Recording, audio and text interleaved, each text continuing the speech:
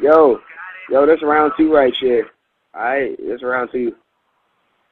So, uh, shit, you know what I'm saying? I ain't played, uh, Modern Warfare 3 in a while, so, you know, like, we gotta, we gotta get on that, man. Real talk. Y'all probably third prestige and shit. I'm still first. I ain't got my prestige yet. Y'all tripping. But shit, that's up, man. Like, I got to do me, man. Like when I get back on there, I, I got double XP waiting on your ass.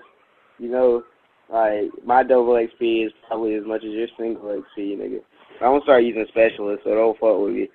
And like, how you been on basketball, man? Like, I just wanted to inform you. You know what I'm saying? Church ball. No, that's me right there. Church ball. Is that not me? I'm pretty sure that's me. Yeah, church ball. So I'm doing me, church ball, church ball in Brushy Creek, you know. You know how it is. You know, just a black man trying to get a little, you know what I'm saying, trying to get a little recognition on the court.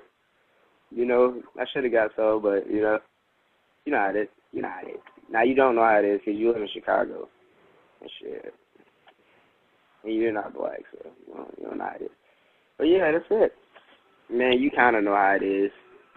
You're a sand nigga, so you alright with it.